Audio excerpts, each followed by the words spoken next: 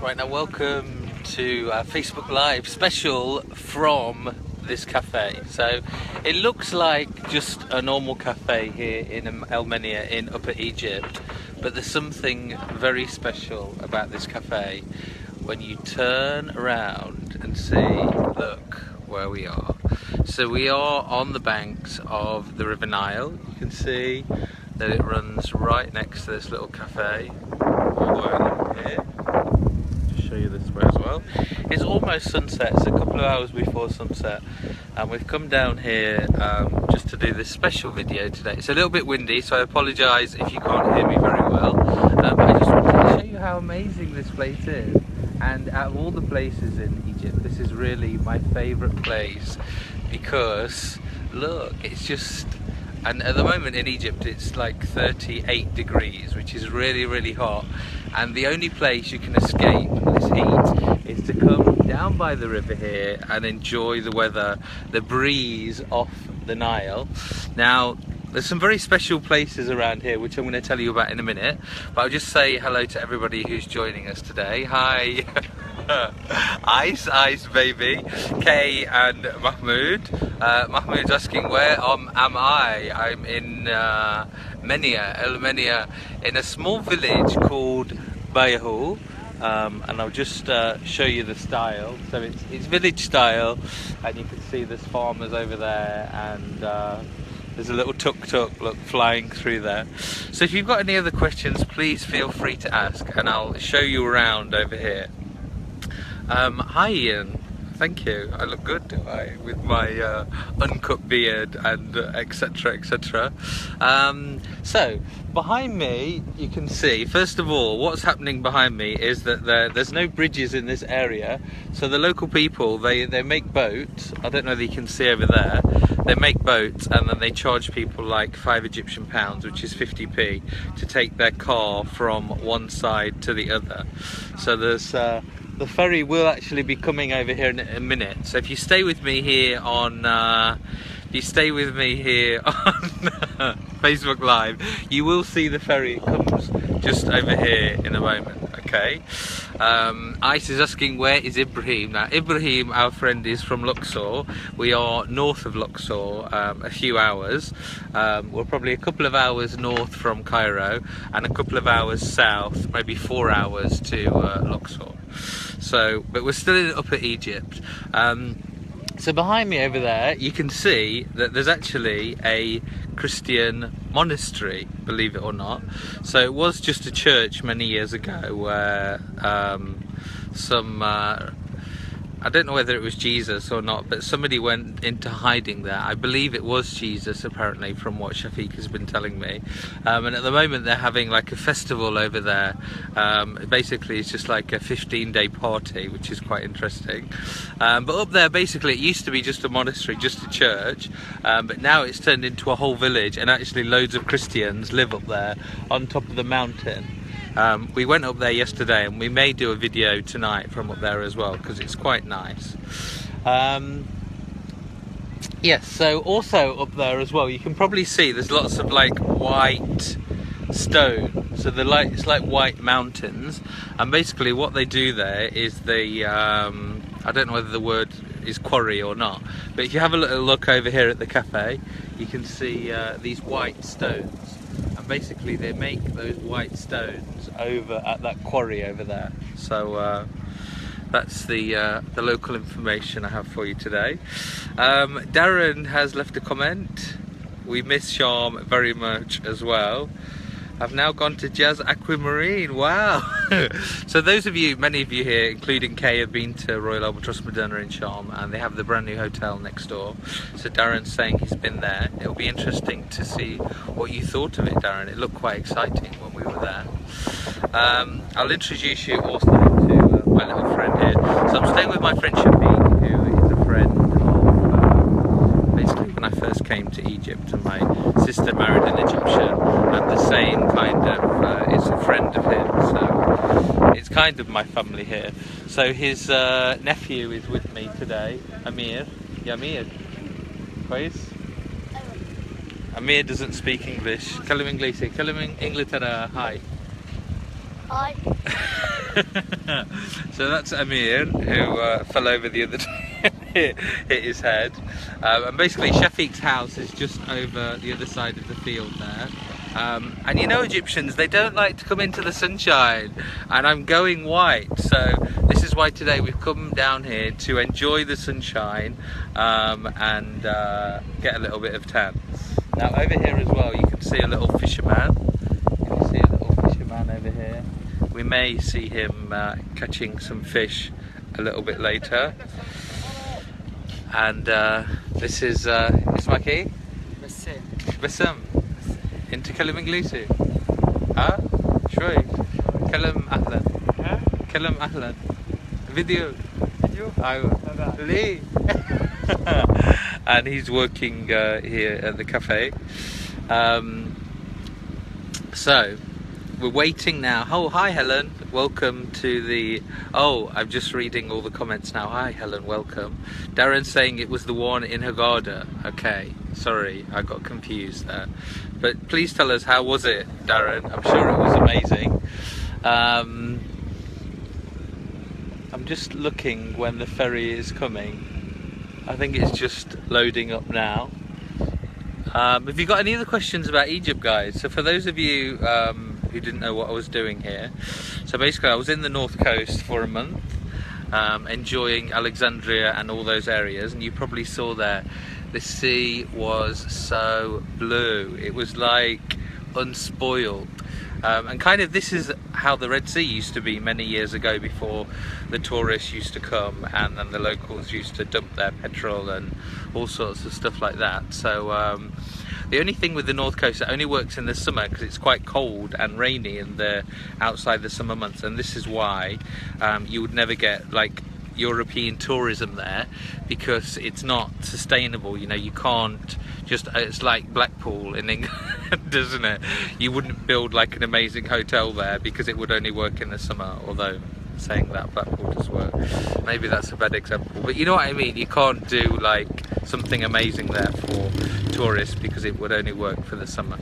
But the hotels that are there are you probably saw it's just Marassi is basically to give you an example of the price if you rent a flat in Marassi for one night it's $440 for one night so when people say why there are no Europeans there it's because they can't afford to go there.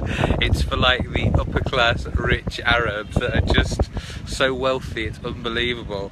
Um, and yeah it's just a uh, a dream for Arabs and us Europeans working there we're just playthings for the the rich and the famous of Arabia. Um, actually it's just Egyptian there it's not even other Arabs so it's just like an exclusive place for the rich Egyptians to go and play in the summer. Hello Andrea. Hi to uh, everybody else joining us here today. So yeah we're doing a Facebook live video from the banks of the Nile. Um, and at the moment I'm just about to show you the ferry that's coming across. I'll just give you another little zip around as well. You can see that the uh, the cafe is over here. The boy that we spoke with earlier he's on his motorbike. He's just stalled it which is not so convenient. Hi Helen. Hi hello um, I'm just showing you around I'm just showing you this boy installing his motorbike also you can see over here the farms I'm not sure what they're doing on the farm, but there's some birds over there. Right, he's got his motorbike going now. I'll let him stabilise it and then I'll show you.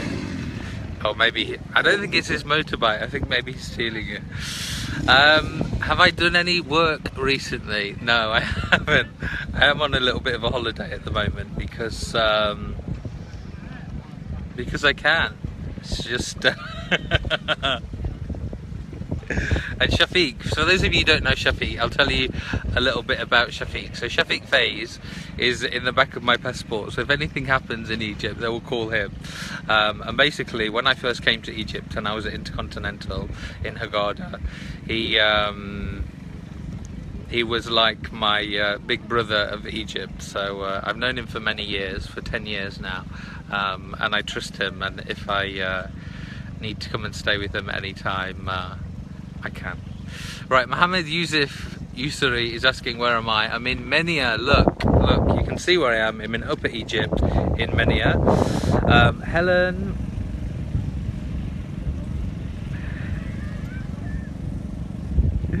It's when he turns the camera. Oh, you want me to turn the camera? Okay, so have a look at the fields again. Or is that when it's uh, you can't hear me? I don't know. I think if I put my hand there. So um, Andrew's saying it's a complete jolly. Oh, oh yes, uh, you're jealous. Don't be jealous, Andrea. It's a man's world. You know that. You wouldn't enjoy the uh, the female side of it here. You'd have to cook. You'd have to clean while us men are down here at the the local coffee shops enjoying the weather by the Nile. You'll be sweating away in the kitchen. In fact, I really would hate to be an Egyptian woman because uh, it's really a tough life. Great for the man, but for the woman, uh, no way. Uh, Mustafa is saying you can swim. I do want to swim here, but Shafiq is not allowing me to uh, swim. He's saying it's too dangerous. Many people have died. There's an undercurrent, and and and. But there is apparently a over the other side of the river. There is a um, like a, an easier place to swim. So me and Amir may go over there and try and uh, double. Even just put our feet in would be nice when it's uh, 37 degrees like today. Um, Andrea's saying in my dreams, but I still wouldn't like to do the, the female role of cooking and cleaning and washing and looking after the screaming children. It'll be hell. Um, cycling, to cycle. I'm in Upper Egypt, 37 degrees and cycling. How come? Um, Helen and Andrea, yes, it would be quite interesting if you came over here and tried to be a British woman. The uh, I think you get divorced in seconds. the guys just wouldn't uh, put up for it. Um, are there crocodiles in there? Apparently there is crocodiles in there, although I haven't seen them. Um, when I've stayed in Upper Egypt in Luxor, um, Tariq has told me about um, the crocodiles like coming out and actually going over to uh, the houses in the middle of the night. But Shafiq seems to think that's lies, but I don't know whether it's true or not. So, um, you're not married. I know what I'm saying is, if you tried to do the role of a woman here in Upper Egypt, then you wouldn't be allowed in the house unless you're married to them. That's first of all, um, and then second of all, uh, yes, they are quite uh, domineering.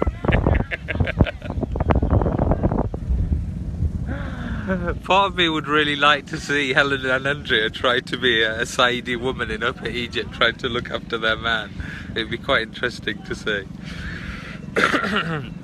right, how am I? Says Karam. I'm fine, thanks. Um, where are you? For those of you still asking where I am, I'm in Upper Egypt. I'm in Menia, which is between Luxor and Cairo. Uh, crocodiles in Aswan. Yeah, I heard before the Aswan Dam, apparently there's loads of crocodiles up there, so uh, that's quite cool. Somebody's written something in Arabic, maybe uh, Mustafa can translate what uh, our Arabic friend is saying. Um, Andrea there will be reverse roles. No way! Look, a Saidi guy, you cannot tame them whatsoever. If you think a Saidi guy can wash his own underwear, you're mistaken. There's no way. He only got married for that reason. he will not do any household chores. And even when they're in Hurghada, when they're working away, they obviously pay to use a laundrette. They won't do anything themselves. At the absolute most, in a life or death situation, maybe they'll cook for themselves, but that's probably it, to be honest with you. Oh, hi Mandy, welcome to our live video here in Egypt today. So, we've been waiting for it to come, and you can see it behind me. The ferry that travels people from that side to this side is on its way. And Andrea is saying the uh, Egyptian guys that would just stay dirty. Right, so I'm drinking it's banned in Europe. These, uh, it's really not good, but you know, it's so nice when it's cold in here in Egypt. It's basically apple Mirinda, and I'm sure Helen and Andrea have both tried it. It's got uh, illegal, European illegal enum, isn't it? This is why it's this colour. But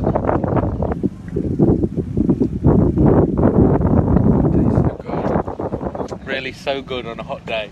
We've also got a couple of bottles of uh, water here. For those of you uh, just joining us now, Amir's here as well, uh, Shafiq's uh, nephew, and he's playing on my other iPhone. He's like so happy, so happy. So yeah, over here look, there's some boys swimming. Check this out. Now I've never seen boys swimming here before, so I'm really happy to see this. I am so tempted to put the video on the side now and just jump in with them. Look. For those of you worried about health and safety, they have not died. There's boys here swimming and oh there's some adults swimming as well over there. Can you see that guys? They are swimming over there. Now something Shafiq did uh, tell me which uh, you, you're going to be really worried about is that uh, hepatitis C is rife in Egypt because of the Nile. Um, so this is obviously one um, massive factor why you shouldn't maybe go in the water. However, I, I, I swam in this water before and I always believe if you have a strong immune system, you eat fruit and veg every day, then your immune system is going to be quite high and you're not going to be susceptible to hepatitis and all these uh, bad things that you can get from uh, water spawn um, things. Now the boys, I think they're coming out now because the uh, the ferry's coming. So this is going to be the climax of our video. Look, you see the ferry is coming behind us. It holds about like six or eight cars and basically it just transfers over this side. Okay, I just need to read uh, the comments. You thought I was on a boat. No, I'm on a cafe. Look. Look. I'm just on a cafe here on the side of the Nile. Get my kit off and jump in, says Andrea. But not where I am. Now, the only problem with swimming where I am is because, look, there's kids here in the water and this ferry's coming. So if any British mothers were here right now, they'd be screaming, ah! But you know, these boys are strong, they know what's happening. And the guys now, the men are now shouting to tell them to go in just keep your mouth closed and don't swallow. it's very hard not to swallow it, uh, Andrea. Right, so you can see here now on the on the uh, ferry is tuk-tuks, motorbikes, um, and also some of these big trucks which carry the um, carry the, the bricks from the quarry over the other side. So uh, you can see the like the drawbridge is down and it's quite interesting to see what happens. So the drawbridge like stops, and before it even stops on the side, the people just start jump on, and the motorbikes just freewheel off the side of the boat and everything. Um, and then when it's securely stopped, um, the the big lorries do then start to move. So they're not all that. Uh, crazy. We went on the ferry yesterday, and it's got a massive engine. It's really strong to go uh, in that. Uh, obviously it's the biggest night, biggest river in the world, so it certainly has some power. Um, can you see the uh, the, uh, the cars and things that are driving on? So this is the excitement of my days to watch the ferry go from there to here and watch the ferries going, uh, watch the cars going on and on. There was a guy the other day who tried to jump, old guy. He tried to jump because he was missing it, and it was so funny he cut on his leg, did feel sorry for him, but I did have to laugh at the same time. So you can see the tuk-tuks coming off, all the rest of the cars. Um, but what's amazing about this um, ferry is the fact it's so smooth. You wouldn't believe how smooth it was. I think it's because A, the weight of the ferry, and B, when all the cars are on there, it's really uh, really heavy, so it just doesn't move and it just like slowly floats to the other side. Um, Mustafa's saying the River Nile is clean and where I am is the most clean. Yes, I hope so. The, uh, The only problem with the Nile, Helen says don't swallow. Uh, the only problem with the Nile is I believe that obviously up in Aswan where it starts, or where it starts in Egypt, it's probably really clean and the more south you get, it gets dirtier and dirtier. And for those of you who've been to Cairo, you've seen how filthy the water is in the River Nile in Cairo. So uh, you definitely wouldn't swim there. But I think you're right, Mustafa. If you look at the, I'll show you the water really close here. Can you see that? It's uh, it doesn't obviously look like the Red Sea, but it certainly doesn't look like uh, putrid or any oil floating on top or anything like that. So uh, we may well be swimming in a moment when the ferry's gone. The only thing that worries me about getting is just the getting in and out. So uh, this is why we were looking to go over on the boat to the other side because I believe it's like an easier exit. But I might watch the boys getting in and out in a minute and uh, see how they're getting, uh, whereabouts they're getting in and out. I think it's just on the bricks down. So behind me now, the uh, ferry is loading back up again. So minibuses, the uh, the empty trailers that have delivered their quarry rock is going back on, and uh, I'm sure some more uh, motorbikes Oh look, there's a little queue of cars in fact. Little queue today. The village is busy. so we'll just keep that going in the background. If you've got any more questions about Egypt, um, for those of you who are following the people in uh, Sharm el Sheikh, there is a uh, there's a waiter, I can't remember his name, but he posted a photo in behind the scenes in the kitchen the other day and it was really sad, all the washing equipment all closed up, all the tables from the restaurant in the kitchen and you know it was proper like closed down which was quite upsetting. Um, and then I can't remember who it was. I think it might be Ahmed Ali, the uh, doctor, the nurse, the from uh, from Albatross. He shared some photos of the new reception area, like real ones, not just the the made-up ones, but actually photos. So I'll try and find the photos and uh, share them. Amir, you okay? Amir's enjoying his uh, veranda. He will be uh, climbing the walls later because of the E numbers. But the good thing about the E numbers, because it's so hot, everybody in Egypt right now is sleeping sleeping through the uh, day and up all night because the only time to have weather. So it's quite good to drink this because it will keep you up all night.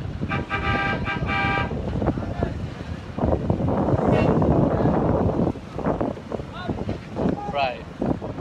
So what's happening behind us now? So the tuk-tuks are now uh, queuing because I think they're the last to go on. And uh, oh wow, it's really full today. You can see the they're all pushing each other. They're, they're telling each other to uh, squeeze them on, squeeze them on today on the ferry. But apparently it's quite a good business. This this ferry runs like 24 hours. It doesn't stop, and uh, they've even got two ferries in case one breaks down. So it's a nice little business here for the people. Um, I think you have to drive, if you don't get this ferry, you have to drive like 20 miles round to, uh, to go all the way around to the other side. So uh, it is worth five Egyptian pounds, which is 50 pence to take your car on this ferry from one side to the other. Okay, so this is the driver pipping now the driver of the boat, so he's trying to say that he'll be going. See uh, they're going to squeeze two more lorries on there. Oh, Phoebe's joined us, and Ailey, my mom, hi! Welcome to our live video here in Elmenia. You can see where we are down by the riverbanks of the Nile. It's a little bit windy down here, so my apologies. However, I can't apologise because the wind is so nice because it's still 37 degrees right now, right here in Egypt. I'll just show you the sunshine. so, the, uh, the ferry is now full and you can see the, oh, let me show you here. So then I'm to lift the drawbridge a little bit. Oh yeah, Andrea, well spotted. There is a tiny little rescue boat which can hold about six to eight people, even though there's probably about 30 on the ferry. it's going to be basically like the Titanic if that thing goes. And apparently uh, the drawbridge has gone up before me show you the drawbridge. The drawbridge has gone up before and cars have like gone straight into the Nile, Shafiq said, and people have died, so. Right, so the engine's now going, they've lifted up the, um, they've lifted up the uh, drawbridge and off it goes. So they don't do it all the way across, they just do it a little bit. And you can see, uh, you know, it's very relaxed, it's very like chilled out there, which is nice.